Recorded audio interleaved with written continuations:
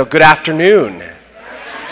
Awesome, awesome, awesome. Hopefully, you all got a little sunburnt and sweaty on your tours and enjoying downtown Phoenix um, and Roosevelt Row. I, uh, I do want to take a quick moment, to, a quick serious moment. Um, one of our dear colleagues, uh, Intermedia Arts, experienced a, a, very tragic loss last night um, with the death of Kirk Washington Jr., an artist that they've been working with for a, a long time uh, in Minneapolis. And I do want to acknowledge the work that he's done and, and to take a moment of silence to acknowledge that loss.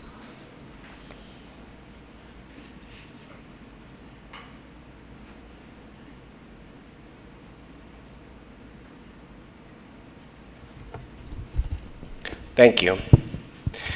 So, we have lots of folks that have been working really, really hard and really appreciative of all of the great knowledge that you all are bringing. Um, we were really excited to get to let you all get inside of the Roosevelt Row project here in downtown Arizona.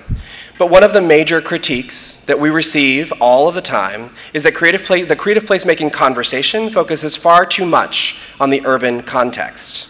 So over the last several years, I wanted to let you know that 31% of the projects that ArtPlace has funded have been in rural communities. And over 17% of the resources that we've allocated over the last five years have gone to native-led projects and native communities.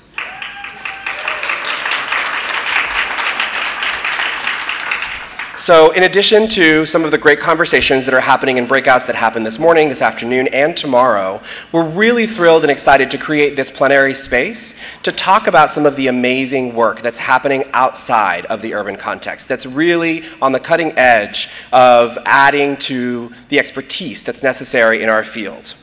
So we're excited to have Dean Koppell back to help us moderate this session. And with that, I want to invite the Dean up and uh, our guests from Patagonia, Ajo, and Grand Canyon.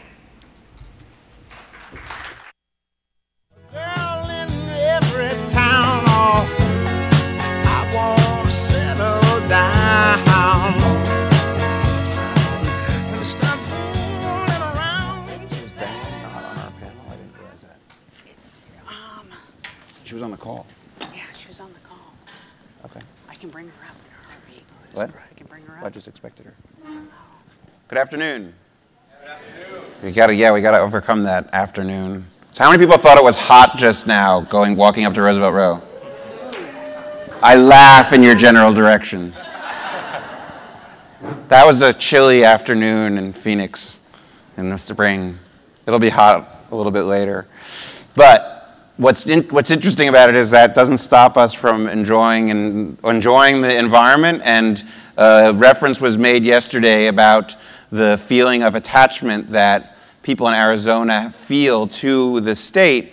And the interesting thing is that while we have a lot of work to do in terms of building community, and I think placemaking is a lot about community building, and I think we'll talk about that in this, in this session um, people who come to Arizona and are from, from, uh, from Arizona are passionate about the environment and their attachment to the environment. And so I'm really excited about this panel because it talks about that environmental attachment as part of placemaking and all of the projects that our panelists will talk about talk about building on that passion for the environment and how do you take that passion for the environment and the natural resources that we're blessed with here and build strong communities um, on that foundation.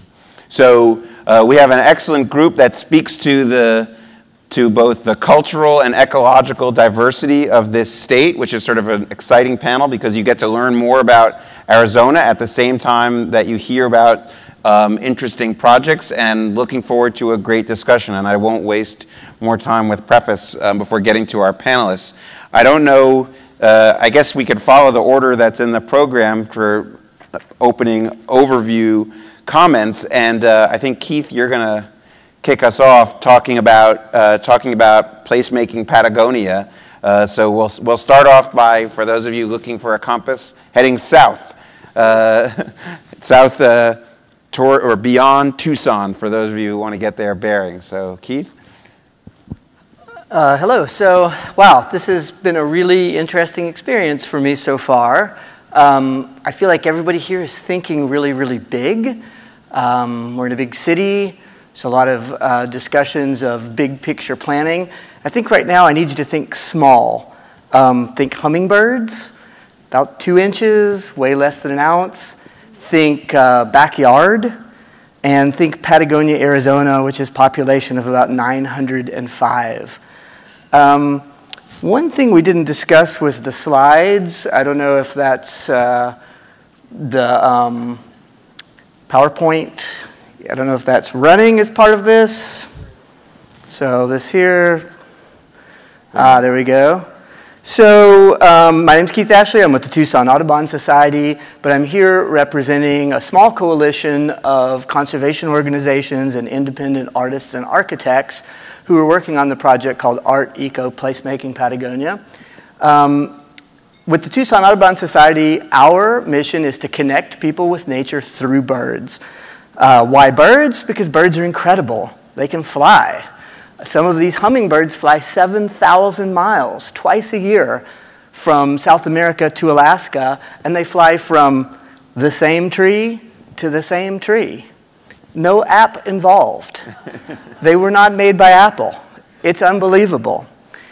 Um, oh, that worked. Great. So, our geographic community starts uh, maybe with this little fellow you can see here. This is a violet crowned hummingbird found pretty much nowhere in the United States of America except in Patagonia. Uh, they come into the area there because it's a really, really special ecosystem. It's actually the confluence of many different ecosystems. The picture next to this is the Patagonia Mountains.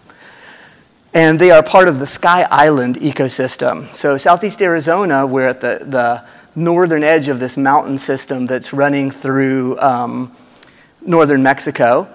And we have these large mountain islands that are separated by the deserts and the dry, arid grasslands that are kind of like the oceans. And so they've developed these unique uh, ecosystems and, and, diversity of species. Um, our story in Patagonia begins in a backyard where a couple started feeding birds about 30, 35 years ago. And as soon as they did, bird watchers started hanging out outside their fence, trying to get a glimpse of what was in the yard.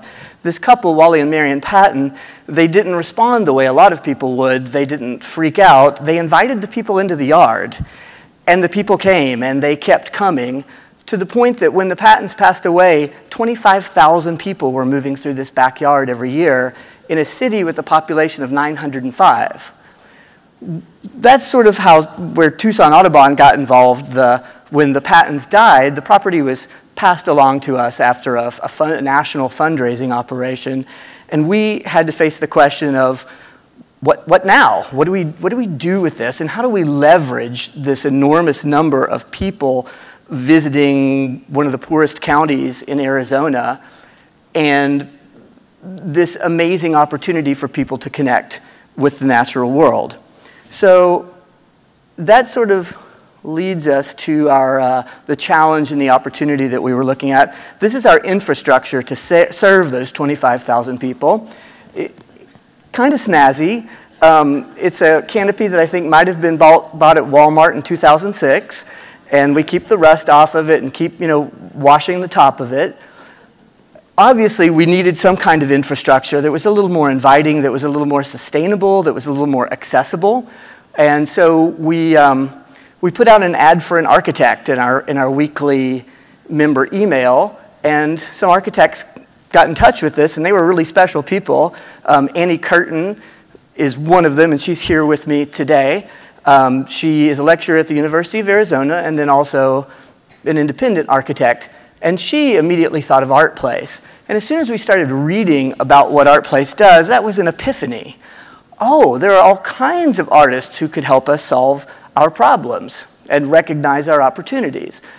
Another challenge that we face is the General Mining Act of 1872. That Mining Act says that anybody can go onto public land and make a mining claim if they have any reason to believe that there is, say, copper on the land. Well, that's happened recently in the Patagonia Mountains by six or seven mining companies. Um, in Arizona, we've lost 95% of our wetlands. the reason that there's so many species, there's 212 species of bird that visit this backyard. The reason there's so many is it happens to be on one of those waterways that is still intact and that the Patagonia Mountains have not been mined for a long time. One mine could potentially destroy the entire water for the entire area, the town, all of the species. How do we leverage the 25,000 people coming through here to build a case that, that there's a, a, better economy than the extractive economy, that there's economy built around nature and art, because those are the two economic cornerstones of Patagonia. So Annie turned us on to ArtPlace. We got together, uh, we wrote the grant, we started meeting with people in the community. Well, we already knew the people in the community and we knew the problems, but we pulled together the Patagonia Creative Arts Association, and a group called Borderlands Restoration that has a youth training program that trains local youth in the practices of um, habitat restoration. And we figured out this project that would hopefully solve a lot of our, a lot of our problems. There are really three strands to the project. One, we have the Patagonia Creative Arts Association finding local artists to help us build signage about birds and about the watershed and about the legacy of the Pattons, and creating materials for schools around what, what they're, the art that they're making. And that's a way to communicate not with these people who are flying in from all over the country, but with all the local folks who maybe don't have access to the local birds because they don't have the, the same education and the same experience. Um, Santa Cruz County is 80% Hispanic, and we are not well connected with that population, and that's something we'd, we'd really like to change by creating more access. Another part of the program is uh, funding the, the Youth Restoration Education Project and um, helping them create arts media outreach about the projects that they're doing to sustain their community. And then the third part, and sort of what we're hoping is going to become the heart of the site. So the site that used to be the Patton's backyard is now called the Patton Center for Hummingbirds and it's stewarded by Tucson Audubon, but it's more than an hour, hour and 20 minutes away from Tucson in this rural community. And a bird viewing pavilion is the solution that has been designed as a way of providing access, creating presence, maintaining the intimacy of the backyard, connecting, uh, we're creating water harvesting basins with native plants, we're modeling what people can do in their own backyards all over the country to bring birds back into both, both rural, suburban, and urban spaces, really.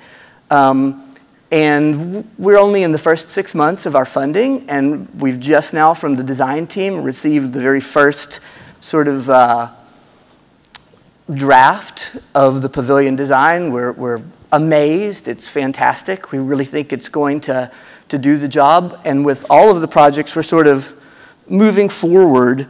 Um, I think the last question that, of the four questions that um, ArtPlace asks us to look at is what does success look like?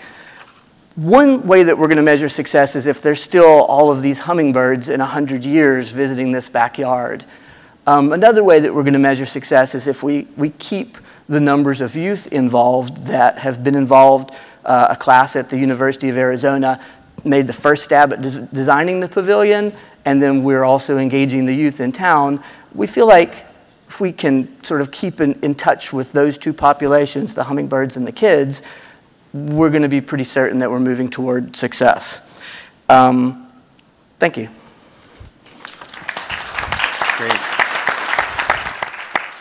Thank you, Keith. And so that's one, so one sort of surprising aspect of Arizona is that there's this riparian bird habitat uh, wetland in the middle of southern Arizona. You would never, you would never guess it from the sort of pictures you see of Arizona, which looks very dry and covered with cacti everywhere.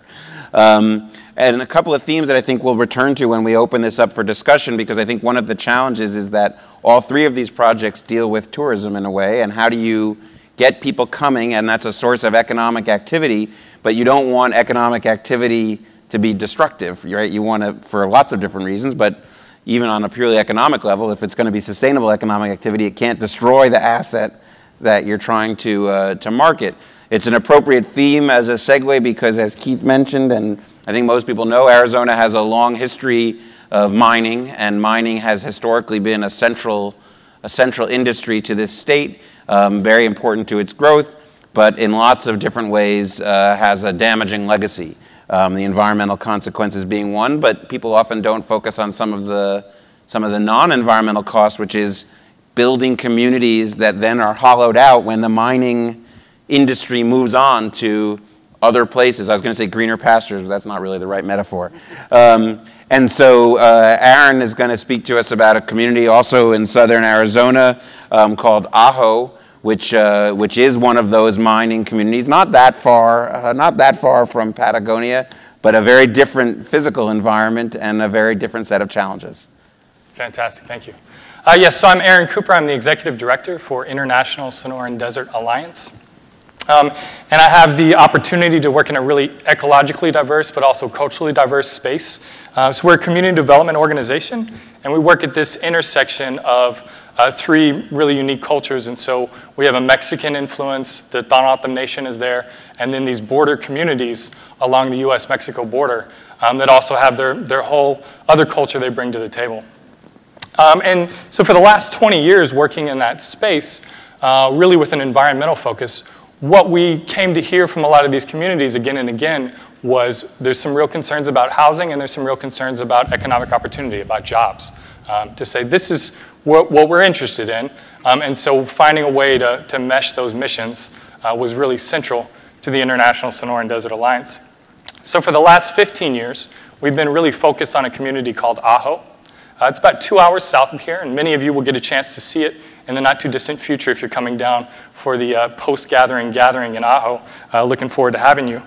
And um, so it's, it's in the middle of this really pristine Sonoran Desert. So to the west, we have the Cabeza Prieta National Wildlife Refuge. To the south, Organ Pipe Cactus National Monument.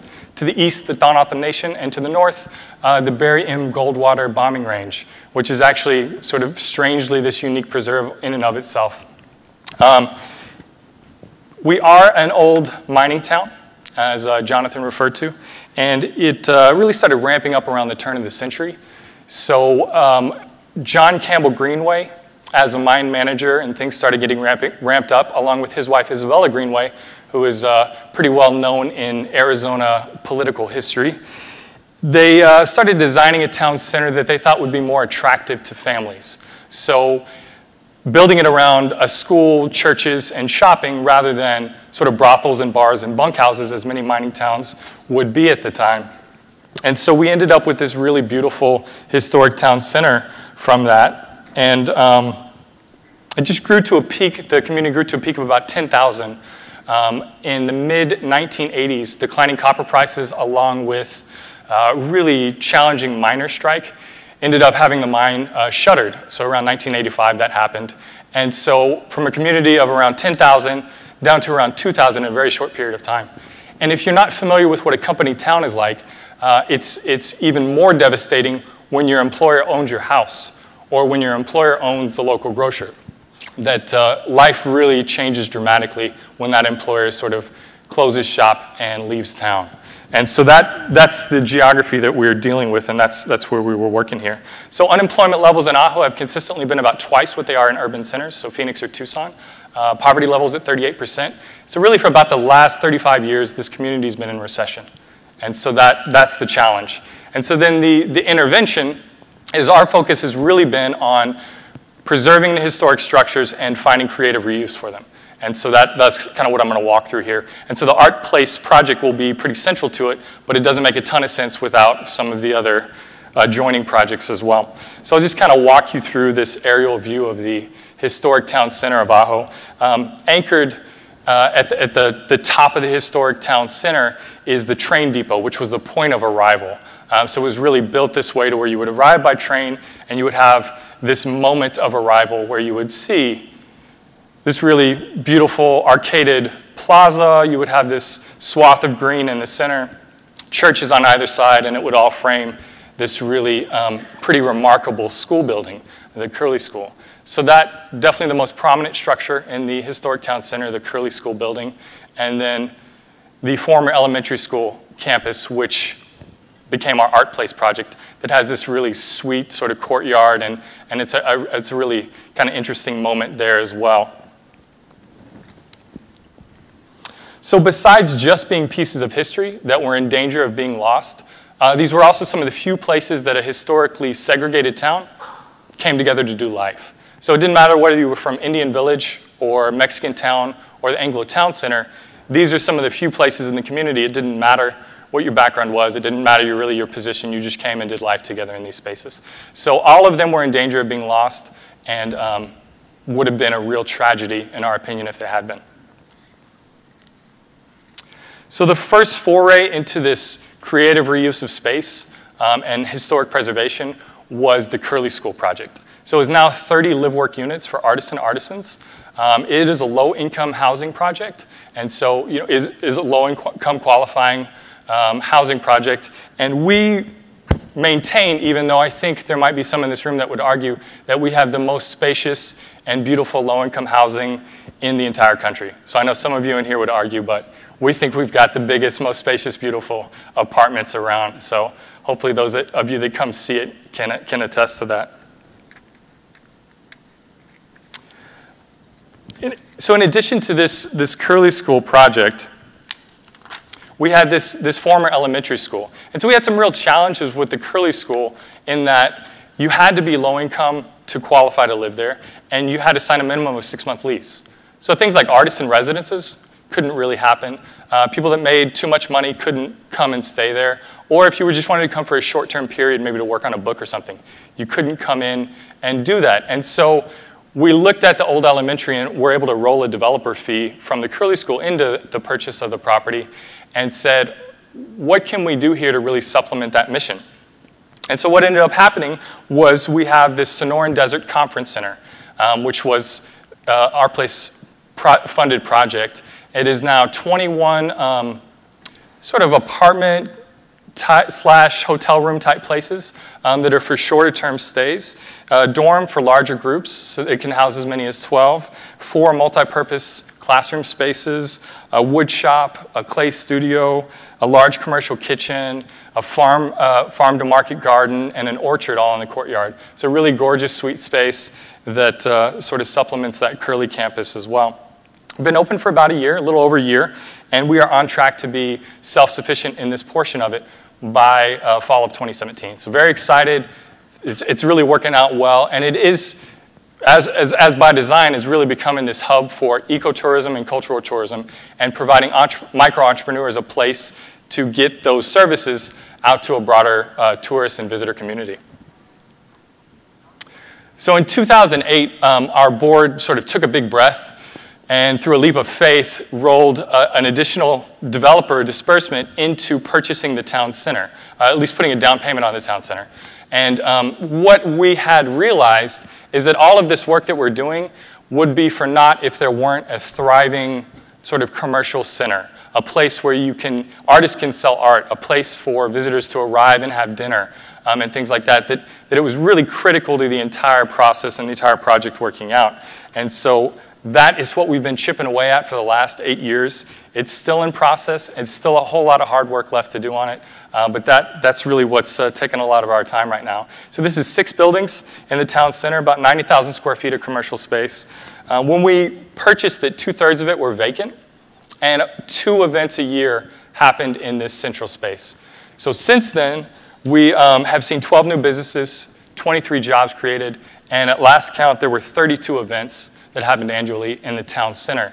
Um, and so really thriving farmer's market that you can see here, a co-op gallery, and our Chamber of Commerce now has a visitor center that is stationed here as well. So really exciting stuff happening, a lot of hard work left to be done, but we're super happy to see um, that happening. But definitely our, our real metric of success has been to see the town center come back to life, both from community members, but also regional artists coming in and really sharing their work with our community at large. So for us, that's the metric of success, and that's, uh, that's what we're so excited to see in the community. So hope to see as many of you as possible down there, and please do come for a visit when you can. Thanks a lot.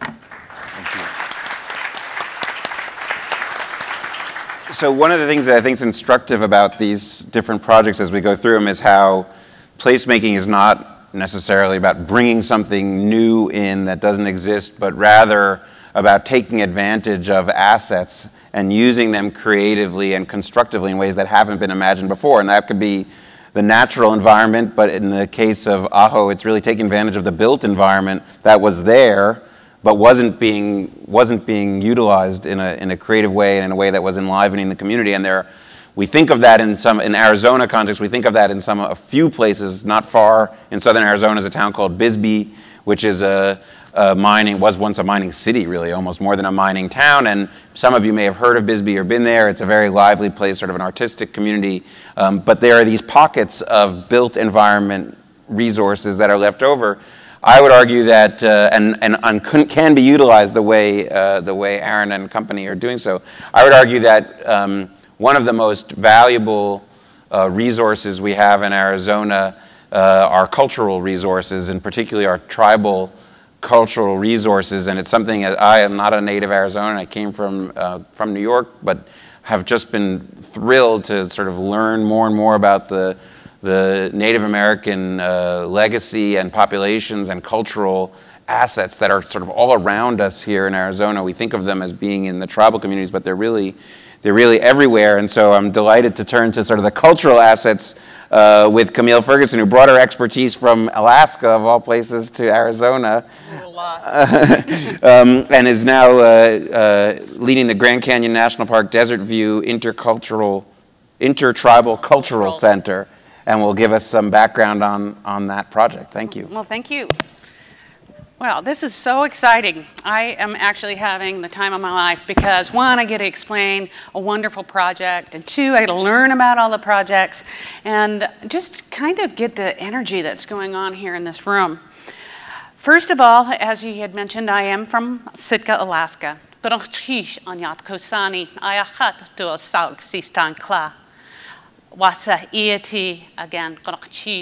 And that's, we talk about art and culture. Our language is just a beautiful piece of art as well. And so anytime I have the opportunity to say hello in my, in my language, I, jump right on it. So uh, you bear with me. I hope um, I just said thank you, ladies and gentlemen. My name is um, C.A. Stonkla, and that is who I am. And when we get a little more time, I'll tell you what that all means. But right now, we're going to talk about this project that um, I get to um, share with a group of other people. It's a partnership. The Grand Canyon National Park Desert View Intertribal Cultural Heritage Center and Native um, Native Artist Program is actually a joint project pro program. It's in partnership with the National Historical Park, or the National, uh, the National um, Park Service. And Diane Chalfant, I know I can't really see you, but I know she's here. Oh, there she is. She's been really more instrumental in actually moving this huge project along. It's, it's in, you know, the American Indian Alaska Native Tourism Association is the association I work with. We actually work with the 567 tribes to help um, tribes tell their story their way. Um, and use tourism as a venue for economic development and perpetuation of, of cultures. This park is an example of a wonderful project that does all of that. But again, it, it, it's a partnership with um, the Arts Place. They, um, AIANTA um, actually drafted the grant and we received a $500,000 grant where 50% is for the restoration of a beautiful facility which um, is called the Desert View. And I just love this slide. I actually stole it from, majority of these slides I stole from Diane. But it, it's a perfect time and a perfect place. And this is a grand project. Um, we also partner with the Bureau of Indian Affairs, who actually provided the technical assistance by providing um, consultants to help with um, facilitating this project. Um, the neat thing about this project is it's, it's not done by the National Park and it's not really done by the American Indian Alaska Native Tourism Association. It's actually done with our other partners. Those, um, it's actually done, you know, involving the community. And the, our partners, what, what I, when I say our other partners besides the American Indian Alaska Native Tourism Association, National Parks, um, we also have the 11 tribes that live within the area of um, the Desert View. It is their, their, this is their opportunity to tell their story, their way, share their art, their culture, and transforming this um, this project has been very important. The project creates collaboration of a new kind of the, for the national park community. And this community includes the 11 tribes uh, traditionally associated with the Grand Canyon who had lived independently for millennium approximately, and at this at this time when I first did the slide, was, we had the new the we had the data of 4.6 million visitors. Well, apparently that changed. We're expecting um, a little more than 5 million visitors to that area. So we also have the national park employees, and then we have the iconic beauty that just um, you know tells its own. And you can see just by the pictures you know, it's, it's, a, splendid, it's a splendid project. Now, the challenges and the opportunities, um, I think, are the most impressive things about this project. The challenges consist of, um, you know, repurposing the desert view in itself, just repurposing it, taking it from what it was to where it is now. Um, and then um, you know, taking the gift shops and re, re, redoing the gift shops, um, providing a place for the 11 tribes to um, tell their story, share their history. But what I think is really impressive about this project is, is the fact that we have 11 tribes working together, learning about each other, sharing their stories, um, telling their stories, and then providing um, um, a think tank to look at a, this area as a broader area for a bigger picture for the sustainability of this, of this area. It, it, it employs, um, it has employment opportunities, but the employment opportunities don't just stop just with the tribes but the, and the national park services, but it's the vendors that are there as well that are in the gift shops. They're actually having an opportunity to learn about what authentic artwork is and the stories behind it and then be able to share that with the visitors as well because they, they entail become um, students that become teachers themselves of, of, a true story of an area. So it is a, a grand project. Now, what, what is happening there? What are the arts? You know, and as I had mentioned, you know, we have the cultural events, the cultural interpretations, the history, the stories, the tribal dance, and the art demonstration. The art, this project is a perpetuation of, them, of them all. It's our ability to keep a, a, a, 11 tribes telling their stories, sharing their cultures, and passing it on to the next generation. So it is an incredible um, opportunity for visitors to also have a value added opportunity to, a, to an iconic um, world site and learn about it for a second time in a new perspective. So um, those are some of the things that, um, are, that you can experience. Now, how do we recognize the success? Well, devoted to tribal directed community use, anchored anchored in travel arts. And this is what I think is real important is it generates further investment. And I think that this is something that we're, we're hoping that we can use this as a model for other national parks and other areas so that they can have value added to an area that they're telling stories, but getting more involvement from the community and from the native people that had lived as ancestral on their lands. The, another big change is a systematic change of the national park and how it presents native cultures. And I, I, one thing I really enjoy about this project, and that's because I myself am native and I enjoy the national parks, is sometimes things are interpreted and native people are considered a bygone people. It's really nice to say, we're here. We're still here. We want to share our culture with you so that you can experience a, a true uh, visit to our native lands. And I think the most thing that's real important is the sense of a comf- comfort and place. Now, I kind of jumped around a little bit, but I, I use this one. There's one picture where um, there's um, demonstrators sitting out there looking out the window. And they look like they are very much enjoying their opportunity in their homeland, sharing their culture, and they're feeling comfortable about it. This project is something that I really, truly believe will be a model for other national parks. Now, there are some things I really wanted to do really quick, like, and I'll try to run through this little list real quick, is, is the update. Since this, these, these slides were actually part of the vision of the grant. But just to give you an update of where, where it actually is. The Desert View Tower will have hosted 73 individual demonstrators for the 131 days of demonstrations. The visitors count for the time period is projected to exceed well over 500,000. Arts and crafts demonstrators include pottery, basketry, silver making, dancing, music, carving, um, painting, and jewelry and sculptures. Speaking demonstrations include cultural authenticity, authenticity, presentations, native legends of the night sky, and other stories. As traditional associations, the, all traditionally associated tribes of the Grand Canyon have been represented, all 11, which is incredible.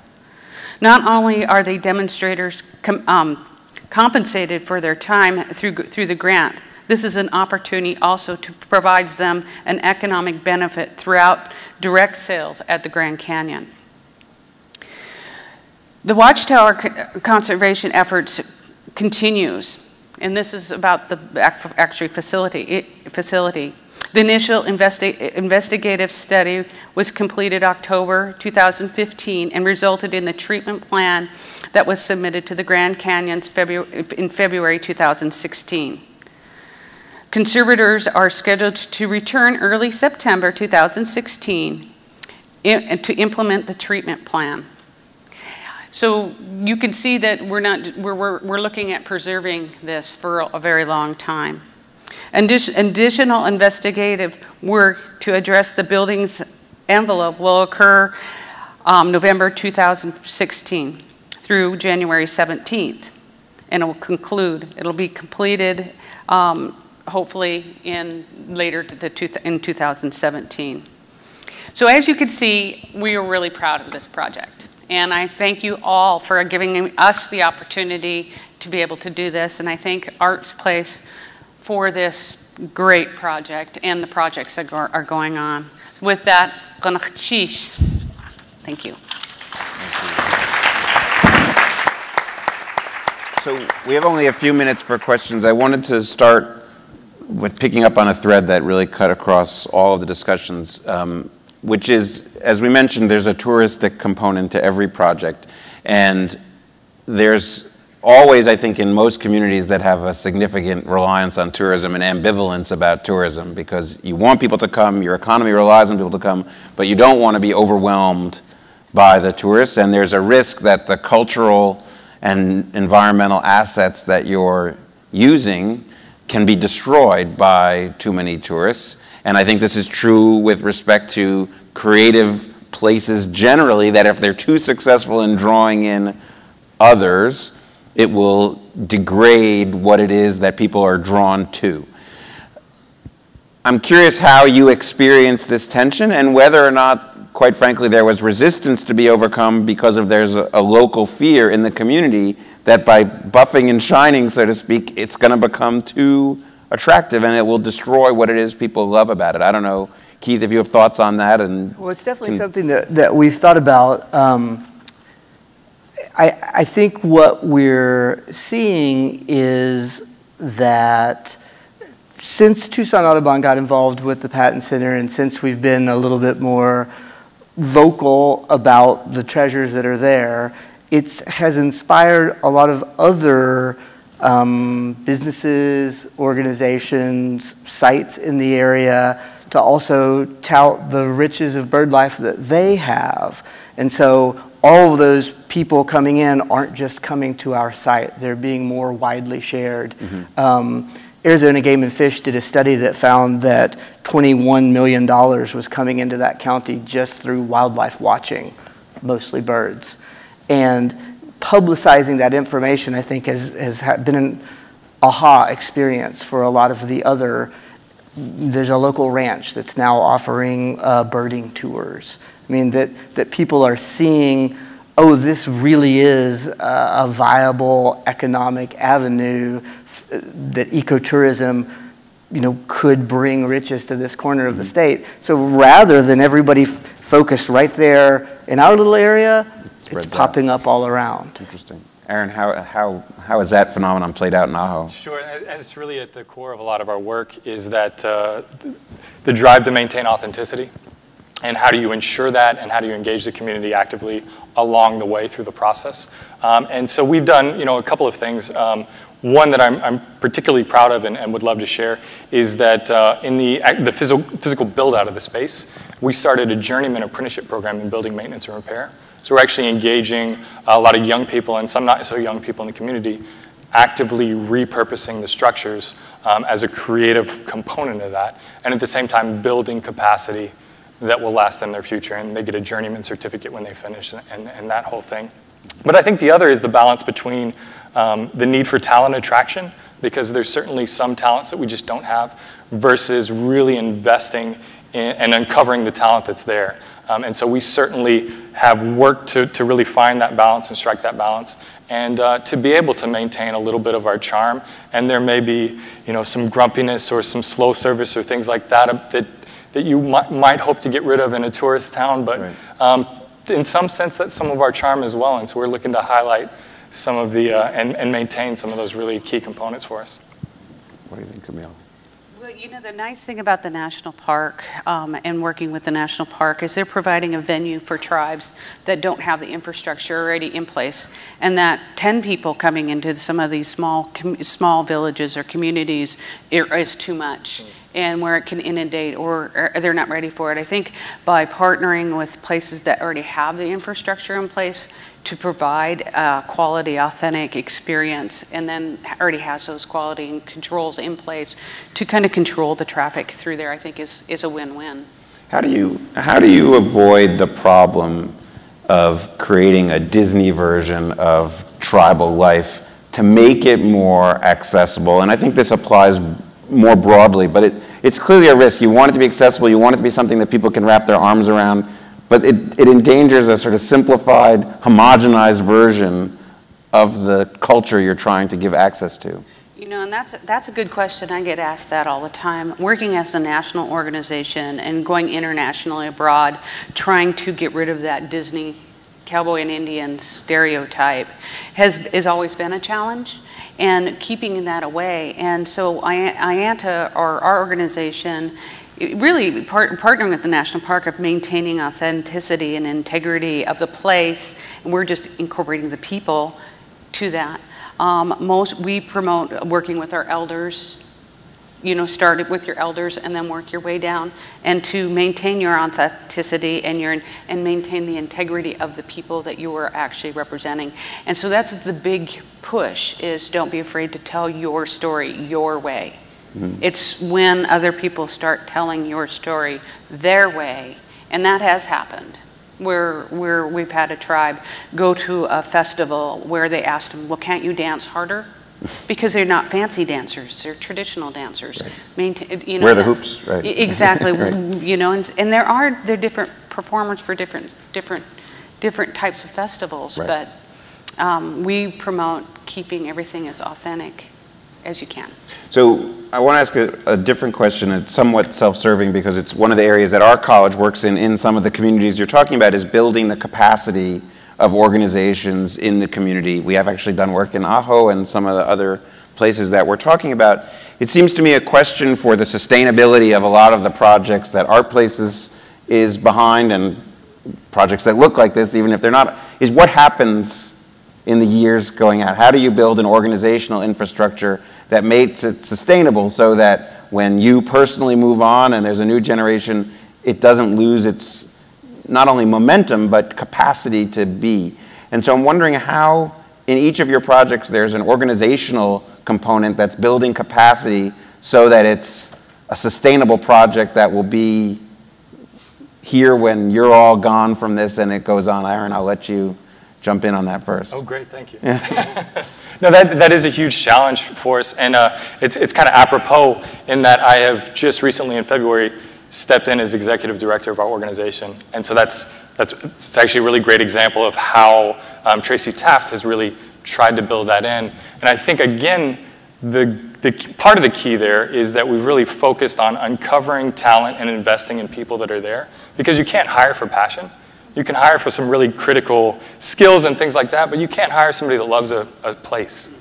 Um, that's the important part. And finding those people that care deeply and love a place, and then investing in building capacity mm-hmm. um, through what you have, I think is, is absolutely critical in a sustainable, sort of long term project like this. Mm-hmm. Keith, what's your approach on that? Well, I, my first comment, I don't know if it, if it answers your question, but it's what came to mind for me. In a sense, working with these architects and artists, they're building capacity for us. They're doing what we as a staff can't do. We don't have those skills. They're helping us reach our outreach goals, which, you know, the, the more outreach that we do, the, the larger our sort of demographic is, the more people we're reaching. Hopefully that means the more sustainable we are into the future because we're valued by more people. But what's really interesting to me in this working with these artists is I think they're doing what we, as conservationists and as a conservation organization, that's not our skill set. That's not our talents. They're, they're building our capacity, and that's really amazing to me. Mm-hmm. Um, as far as building the capacity so that in the future we can have a stronger staff, a more sort of stable organization as a nonprofit, I think the outreach does that. I think Part of the problem with bird appreciation is that it's a kind of a niche market at the moment.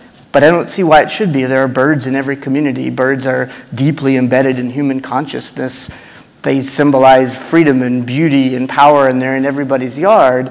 If, if this site that reaches so many people can really reach the entire county, the entire southeast Arizona, and make more and more inroads with more and more people, that's what's going to build our, our capacity, I mm-hmm. think. Camille, what, how does this become a sustainable? You know, I, I, that's really, that's always been a question. How are you going to be sustainable? How are we going to keep our cultures going and going? Mm-hmm. And it's through these partnerships, and I'm a firm believer in partnerships and, and, and being able to create um, what we need to be sustainable. And I think education is definitely a component, and I was glad to hear that here because that's what I'm looking at currently. Just last week, meeting with George Washington University to develop a tourism program that's focused in on cultural tourism development, which is an authentic, sustainable program that can be taught and create actually um, a career in helping perpetuate and keeping our cultures alive. Um, we historically have always been either the tribe selling their beadwork on the side of the road or we were in the park doing a demonstration. What about being the leaders in these places that actually promote a tourism segment, segment that is to promote and develop economic opportunities? And the sustainability part, part, portion of that is our youth. And if our youth do not make an uh, opportunity, if our youth are not making ends meet, I mean, they're not making a, making, it's not a viable opportunity, they're going to go elsewhere. I mean, it's just a proven fact that they'll, they will sit there and play a video game versus go to a culture class. Right. But if they see the, the values of both the balance of, of economic and cultural, the cultural balance, then I see sustainability. Right. Well, thank you to our panelists. I know we've, we've uh, used up our time, but hopefully the group has heard about some interesting projects and learned a little bit more about what, uh, what our state has to offer. Uh, uh a wide range of incredible things that hopefully, uh, hopefully you'll have time to get out and explore. So thank you to the three of you. Thank you. Thank you.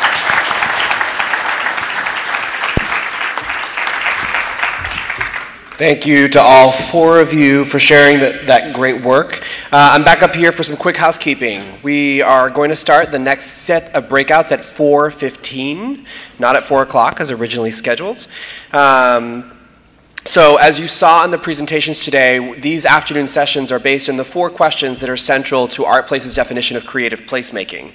There are eight sessions, and so for each question, there are two sessions addressing specific content and strategies being used to respond to that definition.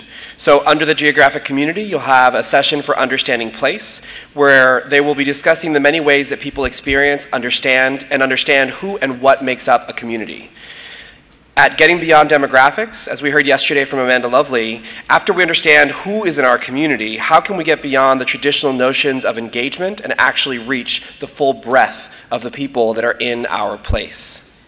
Under Understanding the Desired Community Change, we have a session for facil facilitating community dialogue, where communities aren't, we know that communities are not often homogenous in demographics, and certainly not in perspectives. So this session will be asking the question, what does it take to foment a shared community vision in a heterogeneous community? For building cross-sector teams, we all know that inter intersectoral or cross-sectoral work is central to the success of these projects. And so this session will be exploring what are some of the strategies that people are using to work across silos. For how will the arts help achieve the change, our third point in our definition, the first session will uh, call Generating Creative Solutions. We'll discuss in what ways are artists strengthening communities not through their products that they create, but more importantly through their creative process. Second we'll be in the Creating Art in and for place. We'll, they'll be discussing what does it take to ensure the, that artistic products reflect the culture and the aesthetics of a community for how do we know that change is happening in a place. The first session, creative documentation, will be discussing what do artists bring to research and documentation and how are they balancing the qualitative and quantitative analyses in that process. Last but not least, turning within, we also know that there's a lot of work we need to do in our organizations in order to sustain this practice. So this session will be uh, asking the question, how can we make sure to invest in our own capacity in addition to the desired changes we seek in our communities? As a reminder,